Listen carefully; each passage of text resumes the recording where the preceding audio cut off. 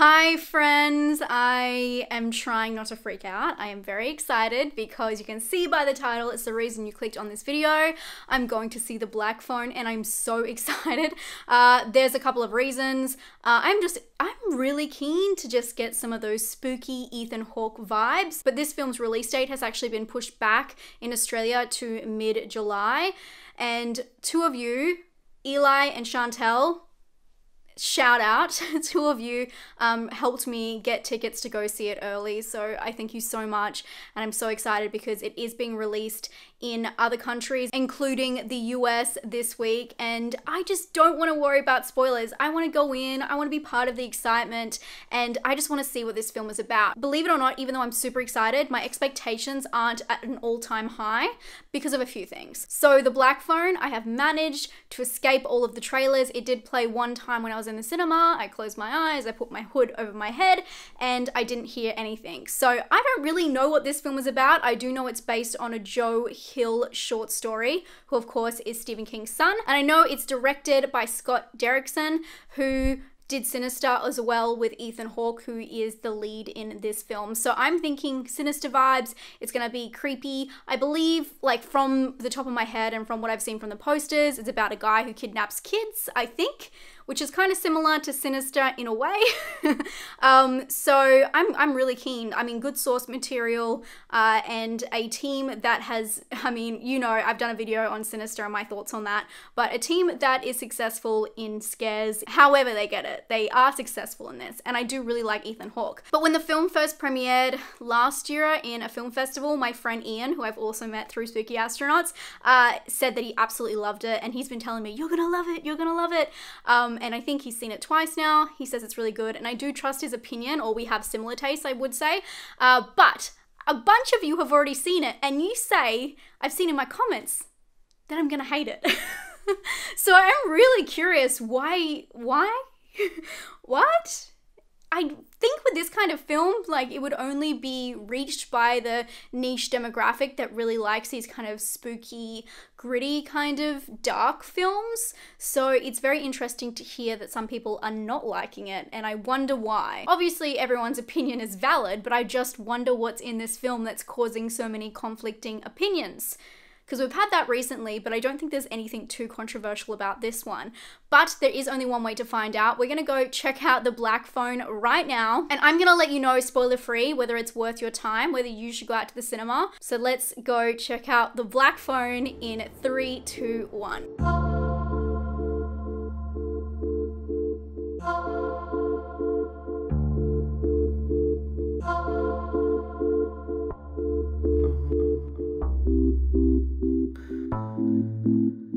No one can complain that I'm watching this one during the day.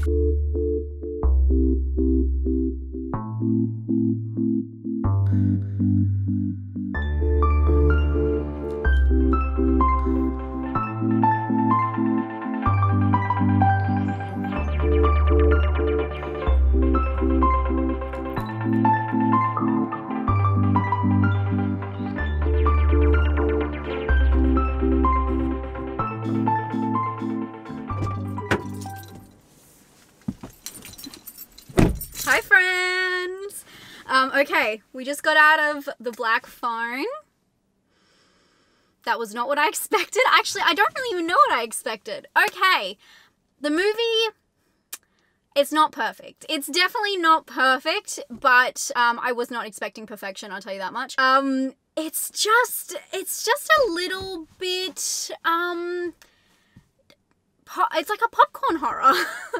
so the Black Phone, I'm not going to go too much into the plot, but I will let you know what to expect in terms of vibe um, and whether it will suit your tastes. The film opens up to a small town in the 70s. Um, the protagonist is a young boy and he's very close with his sister and they're living through a tragedy. There is a guy on the loose called the Grabber and he is taking children in their town. As mentioned before, the film is directed by Scott Derrickson. Uh, he did Sinister, and it also stars Ethan Hawke, who was in Sinister, um, and it also stars the cop that was in Sinister. So it definitely has that trifecta, and it does have the sinister feels. This is a movie that almost feels like it sh- it would have benefited of being released around the same time as Sinister. Um, and it also feels very much like a book, which makes sense because it's based on a short story. I'm sure a lot of you can relate on that feeling when you watch a movie turned book and you have not read the book that things seem very random, things seem like they don't have a lot of context around them, and this movie does that very much so. Uh, there is a lot of just random kind of elements that you don't feel are explained very well, which is very interesting because it does come from a short story. This isn't a long book where there's a lot of different details and they're just picking and choosing. So it was really interesting what they chose to adapt and probably what they read and changed into a screenplay, liking those elements from the book and trying to match those feelings. But because of the director um, and I guess the team, it feels sinister in so many different ways. There's parts of the story that also feel a little bit similar. The set design and also the cinematography, it feels very gritty. Um, obviously, Sinister is part kind of found footage, and although they don't do that in this movie, it's not found footage at all. They do have moments, flashback esque aspects, and uh, they do kind of go towards this grainy, you know, shot on a film kind of footage, and the stylization is edited in with a different perspective, which is a little bit more crisp and clean, which is very interesting. Again, not explained, but just a stylization choice. Uh, they also go for a lot of grit um, and just texture on a lot of things. Obviously, you've seen the cover, there's a mask, and just seeing those kinds of textures up close.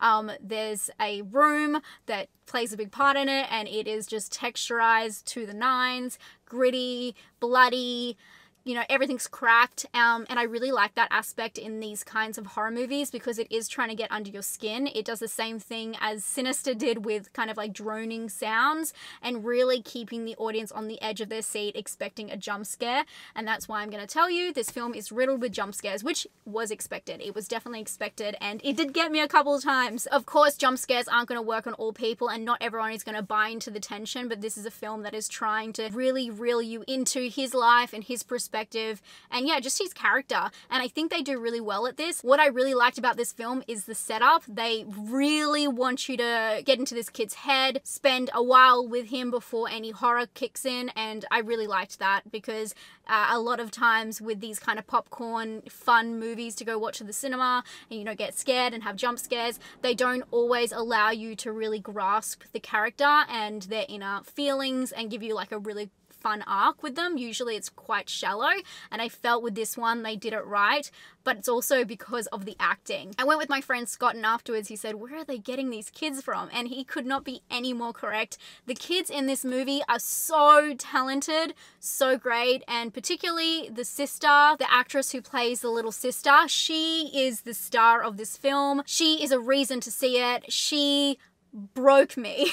she made me laugh, she made me cry, she was fantastic, and um, it was just amazing to watch her performance. And again, just really like watching characters that you enjoy on the screen and um, that you know that's their purpose is to reel you in so you hope for their survival and she does such a good job at that and so does the lead character so i really enjoyed um, these kids i thought they were fantastic one aspect which um, is probably the weakest link in the film uh, was the father. So the kids have a father, and you'll just see it's like Charles Manson esque weirdness.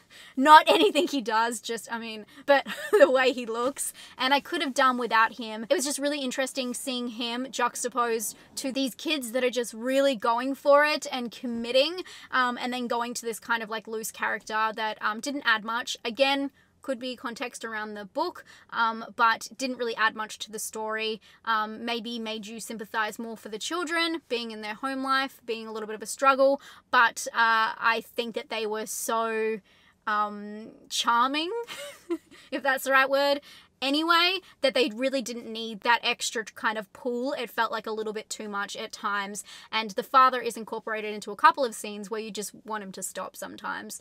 Um, and not just because he's not the greatest person, um, because just the way the character is written is quite flat. And um, the kids are really dimensional and interesting and you just want to get inside their heads and hear more from them. So less talky from the adults more talky from the children. Thank you very much. Ethan hawke is a very different character in this film. I don't think i've ever seen him play like this. Uh, i don't want to go too much into that but i thought that um, his contribution to the film was super interesting. Again, I feel like there's a lack of context for this film. I'm going to go read the short story and see the differences because I'm really interested in that. But to go back to the stylization, of course, we've got the grit, we've got the gore, we've got these um, interesting perspectives going in and out of kind of like film grainy footage. Uh, but of course, it's set in the 70s and they really bring in that vibe. I feel like they're kind of playing off Stranger Things in a way. The whole kids in a town, well, something mysterious is happening and they need to figure it out and fight for survival, all that good stuff. They intercut news footage, they use a lot of fonts that are quite 70s esque, and they just really go for it to put you back in the time. And of course, Stranger Things did not invent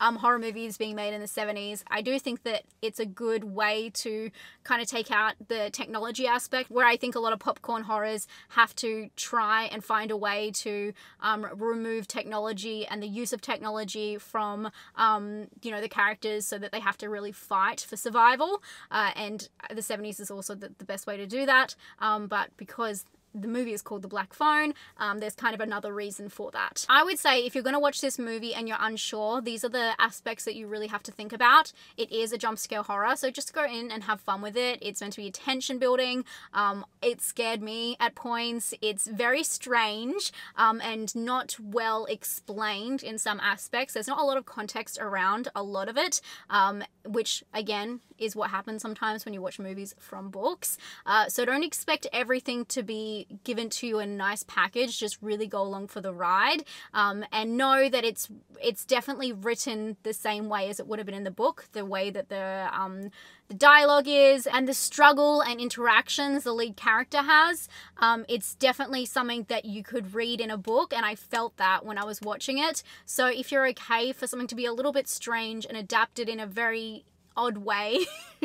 Or just maybe it wasn't well suited to a movie but still definitely worth a play especially for the performances of the children and the sister that's what I would say. I would say if you like Sinister, you like gritty, and you like popcorn horror, like this simple kind of just fun horror, just to immerse yourself in and not to go too much deeper, then to see an interesting story reflected from the book onto the screen, I would recommend checking this one out. I didn't think it was perfect. I didn't think it lived up to the hype that a lot of people are giving it, um, but I don't think it's bad by any means. I still really enjoyed it. I'm actually going to give this one a personal score of 7 out of 10.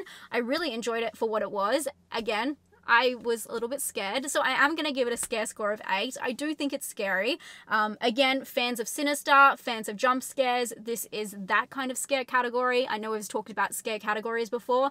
This definitely lands in that. Um, so whether you're scared by that or not, if you are, it's an 8 in that category. And for originality, I am going to give it a 6. I think it's like a very easy to watch story, but there are some interesting elements that they've adapted on there that don't quite make sense or I just wish it was explained better.